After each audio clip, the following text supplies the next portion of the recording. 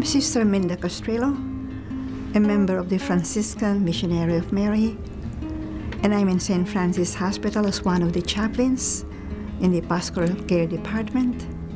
Yeah, as one of the chaplains of the hospital, we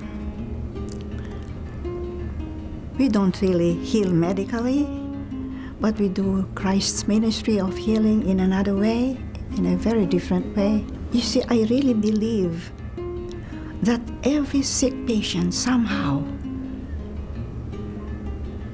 even without their wanting it, reach out for an infinite God, for help. And in a secular hospital, unfortunately, I don't think the focus is the spiritual aspect. Whereas in the Catholic health services,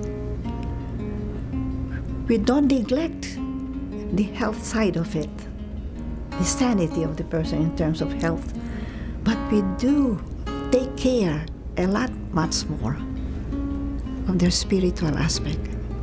So when the patients allow us to enter into their sacred space, just reserved for themselves and for their God, it is an awesome vocation, I believe.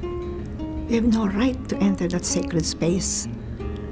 But very often the patients just invite us in.